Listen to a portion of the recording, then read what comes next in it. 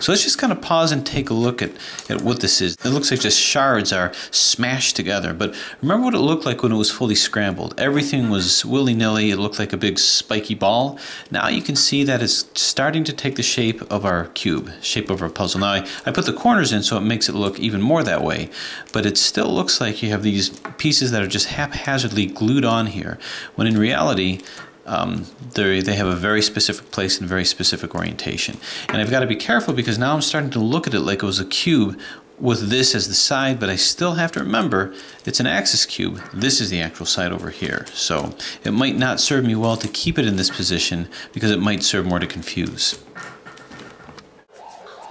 So edge placement is done uh, much the way you do with any mod. So you have one edge that comes in over here sounds of Pac-Man in the in the background. So this guy is going to come over to here. So let's put him in place. We're going to now, now break our cube or pseudo cube form. Just have to make sure I have my perspective here.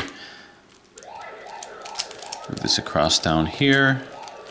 And actually breaking the pseudo cube form or the n cube form is actually going to help me so that I don't forget what I'm doing.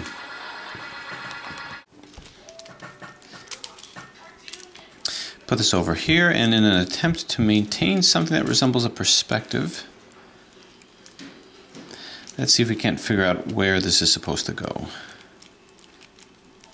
Okay, straight down here, I think. So turn, turn,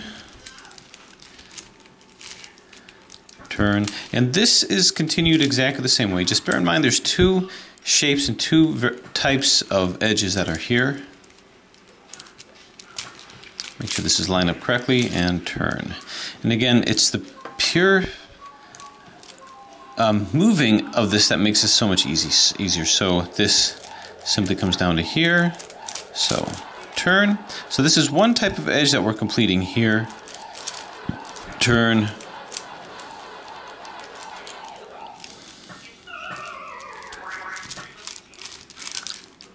Turn.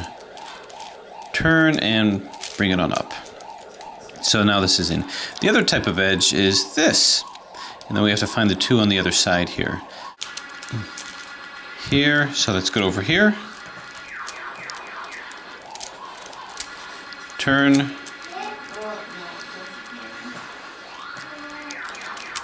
Turn. Turn and bring it up. And now putting the other one in. Turn it down and it does. Turn, turn, turn, and up we go. So we've got this type of edge and this type of edge, and I'm going to keep doing this until I get to the last two edges. Okay, so we continue on. We've got a couple more of these edges to do. I've got these two in place.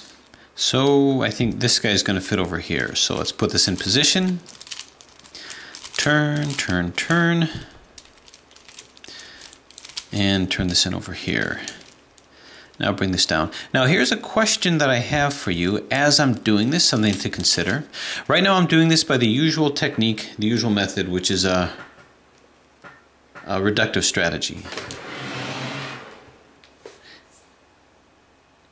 The question to consider is, um, although I'm solving this with a reductive strategy, I've shown and demonstrated a layer by layer strategy. my question is, would that be interesting to see with this guy? If I were to do a layer by layer strategy on a multi puzzle, multi-dimensional, a multi-layered puzzle rather, dimensional, um, that's also a mod or a supercube. Haven't done that yet, and that might be interesting because we wouldn't, by not doing the reduction method, we'd actually be doing the centers and the edges at the same time. I gotta make sure my alignment here is correct.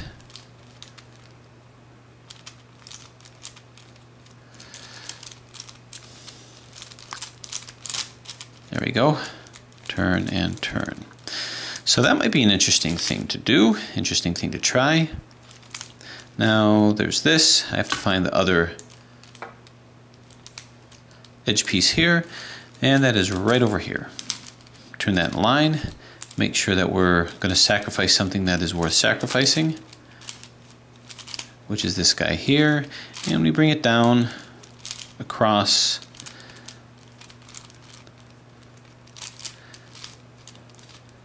down and turn all the way and up we go. Okay, step by step, what do we've got? What have we got left? So, maybe one of these guys. So I've got these two which belong with these two over here. I've got the green one. Here's my sacrificial lamb. Turn, turn and put this in here. Now, I can't imagine that watching this is as fun as doing it. Turn, especially when it's such a smooth moving puzzle. This was made by my Ghost Cube contact and many of you guys' Ghost Cube contact. And this gets turned up. Okay, once I have that in, now this belongs here, potentially because there's another green one that looks just like that. Turn and turn. So among the six layer mods, I actually find that the axis ones are the hardest to keep straight. There's something about these little pieces that have to be kept in mind. Turn, so this fits nicely over here. I think as we start to get more into ghost-like structure, we get harder and harder. And the axis is the closest thing to a ghost structure as any of the other puzzles. So this is all good. Now we find a little white one, which is here.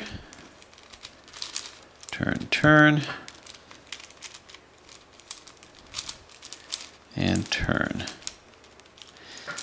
Okay. Sacrifice this one.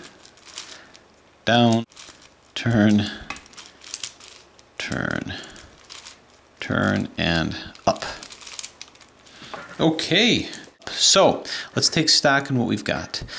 I believe we're now down to the last two edges of this puzzle. Now you can see that it's it's more ordered than it was before. We're still in a scrambled form and we haven't reduced all of our edges, but you can see that it doesn't have that shattered look, that classic axis shattered look. So now let's consider what we have to do. I can see these are all lined up. So if you have your own six layer mod, understand that when I do the algorithm, to cause flipping here, whatever's on the side that I move away from, that's going to stay put. I kind of want this to stay put. And I want to try to eliminate parity as much as I can. So I'm going to flip these two. Now when that happens, this center is going to flip. So by the end of this, this should all be fine. There shouldn't be any um, placement issues with that requiring any Red Bulls to flip them around. Because if I do Red Bull, it's going to cause some potential flipping of, um, of uh, centers. This would be flipped over here.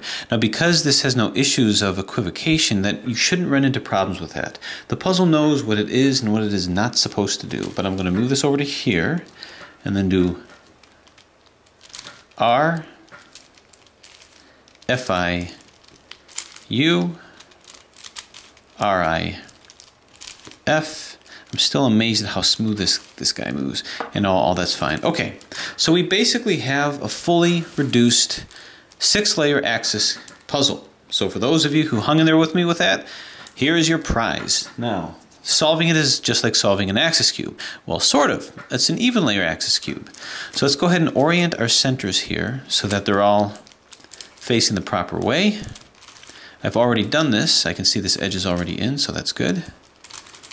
This is going to come into here to create my new pseudo yellow or orange side rather.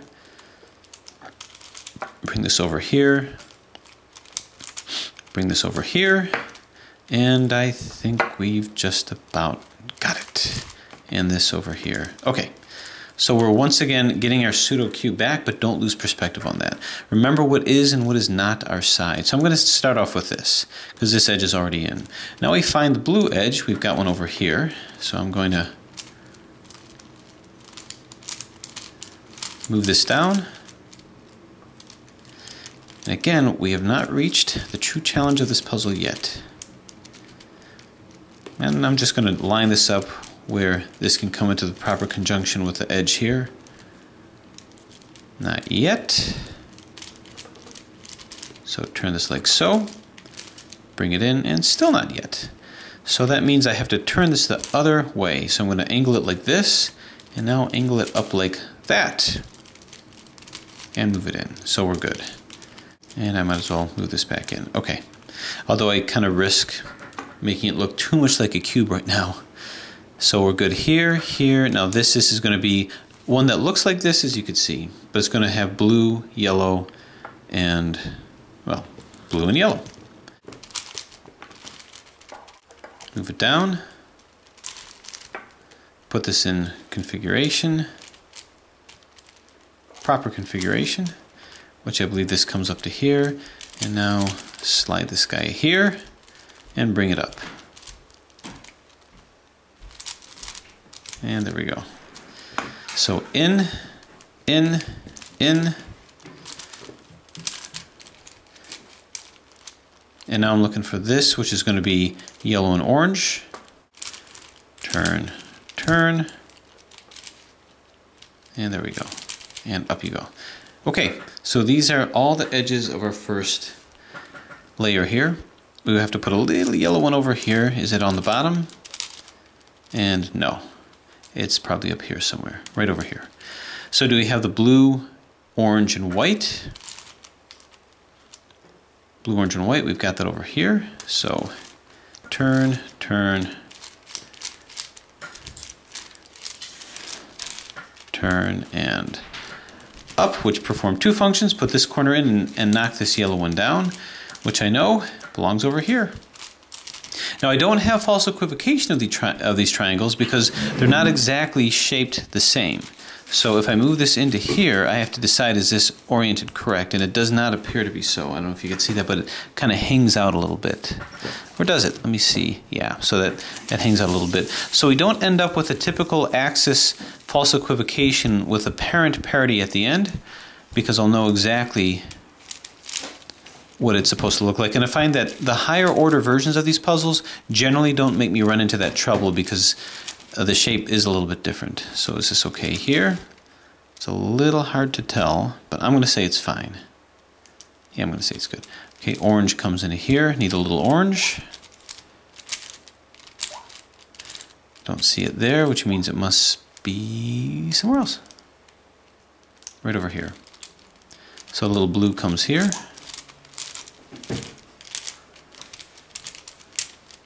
There it is. Snagged a little bit there. Now again, don't let the box shape fool you. We are not ready to call this a cube yet. Is this in? What do you think? Looks pretty good. And now the little tiny white piece. Oh, orange rather, right over here. Turn, turn. Does that look right? Uh, sure. Okay, so this is our first layer over here. Good, good, good, and good. So now we turn it over here, remembering that this is our top layer, and we put all of this in. So this belongs here. So the usual algorithm for the left side, otherwise known as algorithm number one with a layer by layer approach. Doesn't seem to want to move. There we go. UI, LI, U, L,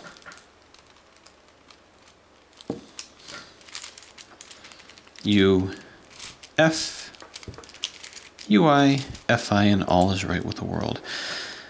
Uh, what else we have? I think this white one can find a nice home over here. Same algorithm. Turn, bang, zoom, pow, splat, crunch, clink, kerplop. That's good. Can I see a red and blue? No, I can't. Oh, I can right here. So I have to substitute that with a green. Well, yellow and green which I've got over here. So this is going to come down like this, same side, turn, turn, turn, turn,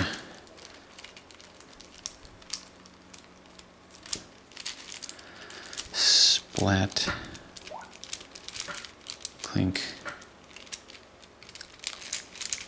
clink, and clunk.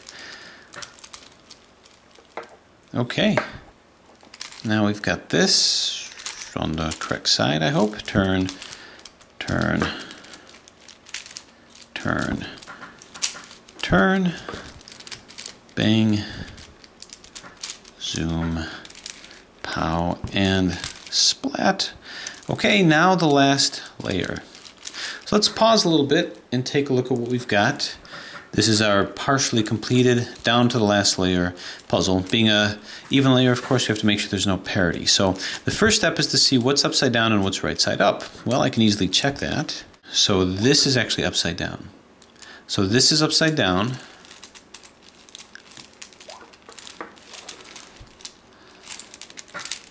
And this is upside down, so these two are upside down. Let's see if I can remember that. This goes, this does go here, so this is right side up. Upside down, upside down, right side up. Now, is this one right side up? And the answer is no. It's upside down. So that means I have three that are upside down and one that's right side up, which means I do have that kind of parity. Just to bring that out a little bit more, let me go ahead and do this. F R U R I U I Fi, and I'm just permuting these around just to show it a little bit more. So this you can see is right side up. This, if I move it here, you can see this is right side up. So right side up, right side up. This one you can see is right side up, and this one is upside down. So I have that three up, one down parity that happens with this. So I've got to get out of that. So how am I going to do that? So to do this, as you know, this is the Red Bull algorithm, one of the very first applications of this before realizing it that realizing that it can get you out of a whole bunch of other types of parities. But I'm going to split it down here and this will become my R move. I have to make sure I keep my perspective here. I'm moving like this. Okay. This becomes my R move and this becomes my L move. And at the end of the day, these will all be flip-flopped in relation to each other. So let's see if I can navigate through this without messing this up too much. 2R, 2B,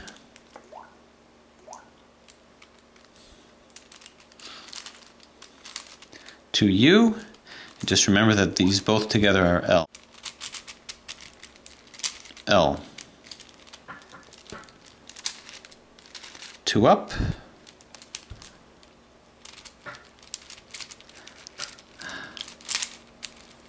RI, two up.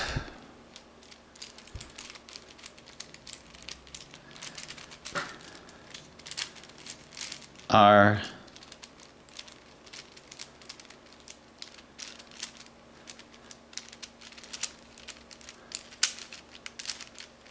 two up.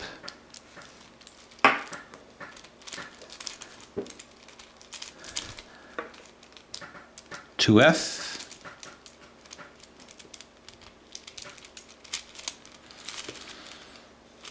Hmm. R 2F and hoping I didn't mess it up.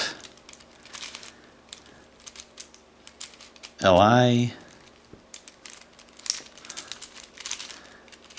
to B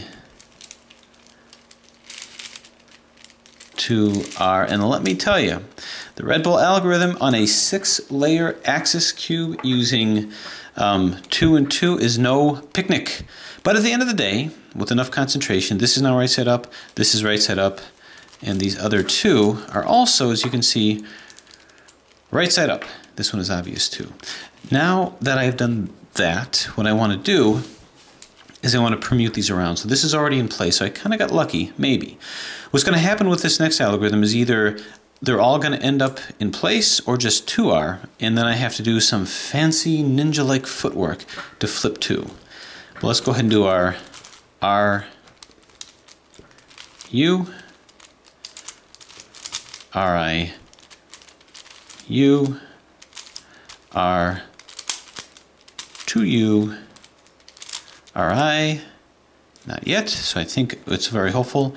R U R I U R 2U R I, and we got lucky because these are all here. This isn't in, this isn't in, this isn't in, and this isn't in. So we have to permute the corners around, and we're almost there. U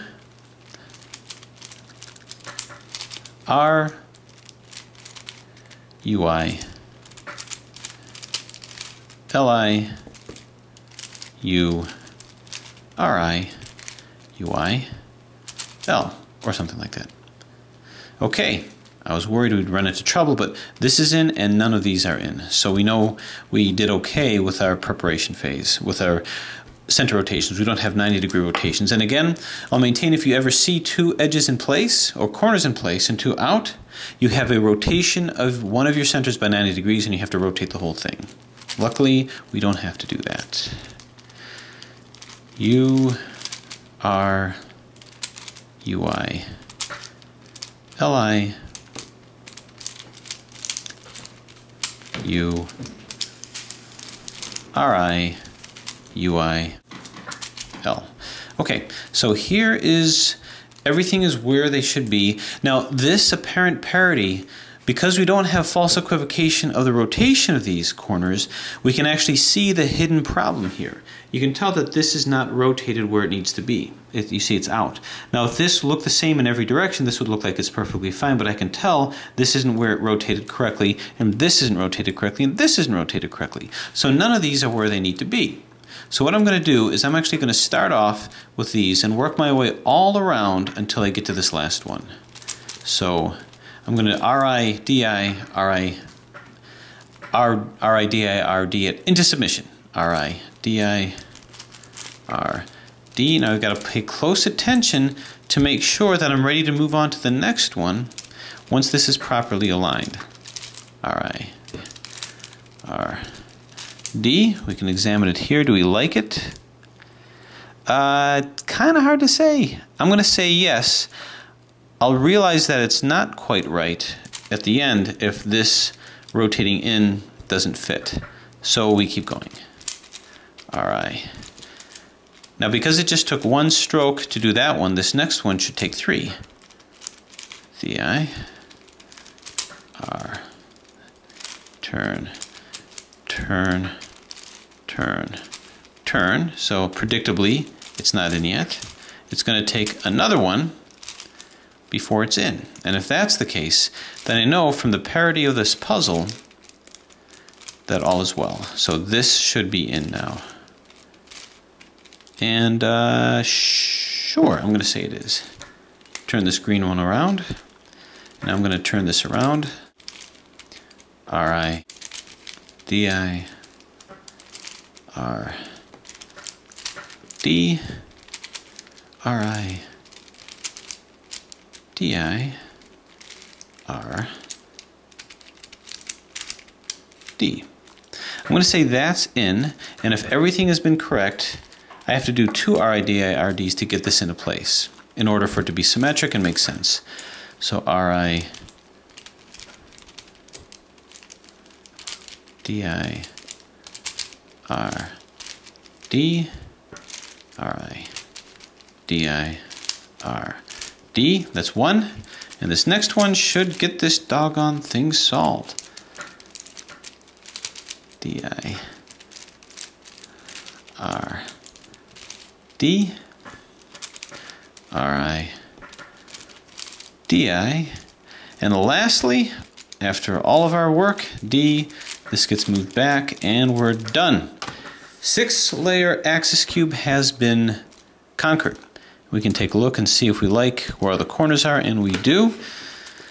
Once again, a very, very fun puzzle to solve because it's it's once again perspective bending, but the movement is very, very smooth.